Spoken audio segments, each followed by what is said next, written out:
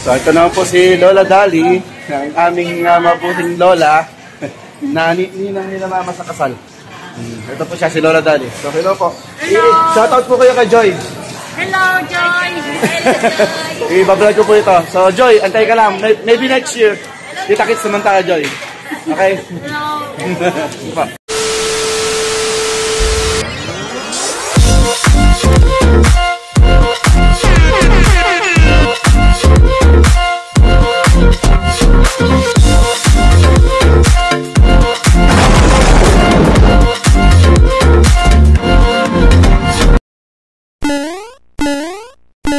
Good day everyone. For today's vlog, we are here at SM Mega Mall with Mama. Hello! Ayun. Hi! So nagdahi po kami. Pamasahin namin sa bus is 275 plus, ganyan, whatever. At nagtaxi kami, halos 300. Kulang 300. So parang parehas ang fare. Dapat pala nagtaxi na lang kami mula ano, mula probinsya, baka sakali mas mura pa. Hmm. 5,000. SM Mega Mall. One of the famous SM here in Manila. So, imimit, naman tayo dun sa yung 400 plus yun. so, imimit po namin si si Lola Dali at saka si Ninang Babes. Finally. Yahoo! So, mamaya na lang po guys. See you later.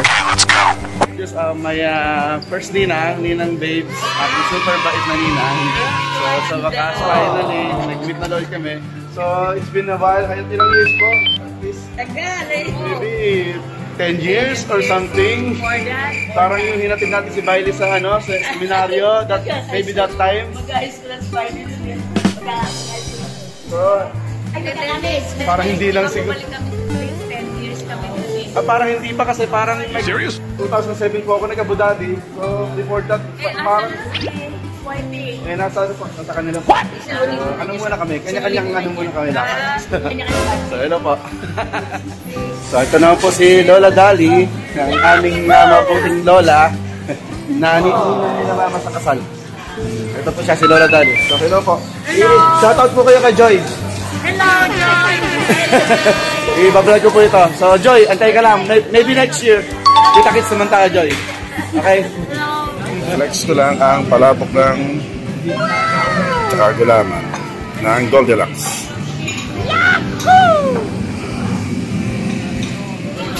Nakikita. Ito yung pinaint ni Ninang Babes. Kailan lang?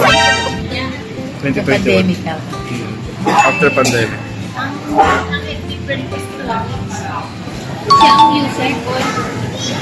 Ninang, sorry to interrupt. Ah, ilang ilang araw niyo pong ginagawa yung ganito? Pag gusto niya. Na.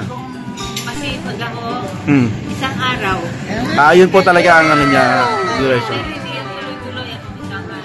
Ah, okay. Siyempre, kakain ka din. Hmm. hmm. Kinakain niya ako talaga nasa mood siya. Pag nasa Ah, okay. K- kasi ano eh, Nasa mood. pag nakita nyo kasi, parang hindi pa tapos pala, ganyan, at may finishing pa, di ba may mga ganun pa kayo?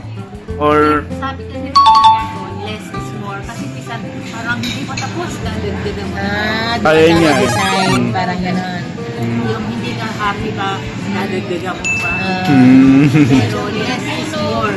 Less is more. Ako kaya, yung picture ko yun sa watercolor. Simple lang. Yung picture ko sa oil, yung dami, dami patong-patong. Ah, mas mahirap din. Mas mahirap. ah, yun, ko. Mas matagal. Saka, 10 years talaga para ma-create nila yung. Hmm. Okay.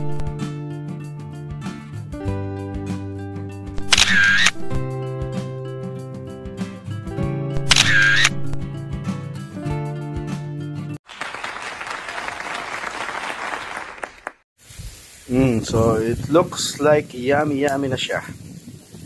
Okay. Yun oh. Tsaka yung amoy niya, amoy Pilipinas. Yummy yummy. Yummy yummy. Hmm? Yummy yummy.